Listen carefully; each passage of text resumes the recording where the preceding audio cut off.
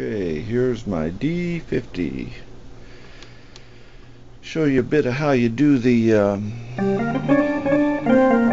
that's the intro to 96 Tears, which is uh, the C7, G, B flat, C, then do the uh, fifth there of the G, give a bit of a twist.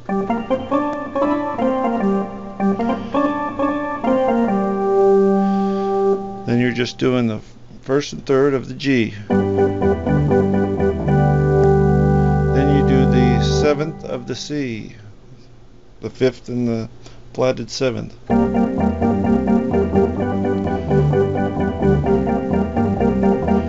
Now it's time for the transition is a G, G, D, E.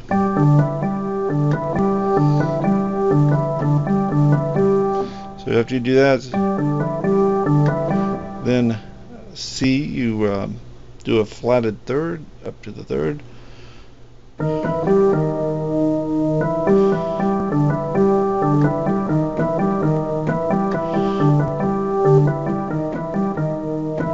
Hold it as long as you want for effect, of course.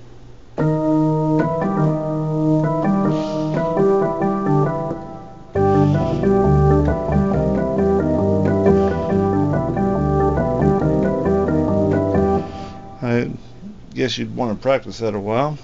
Now the middle part of after you're playing a while, uh, you know, goes to the E minor.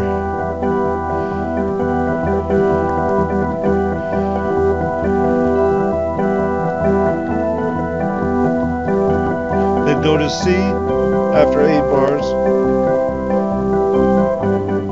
Back to G, C,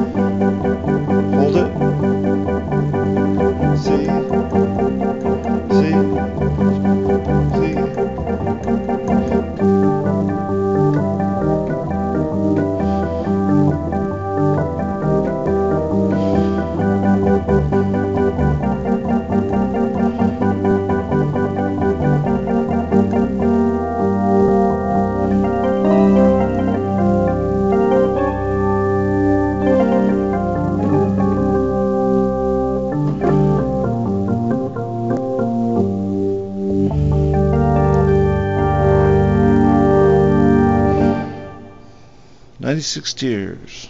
Don't forget G, C7,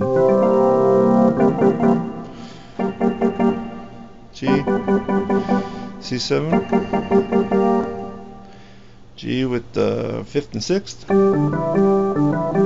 C with the flatted third and the fifth.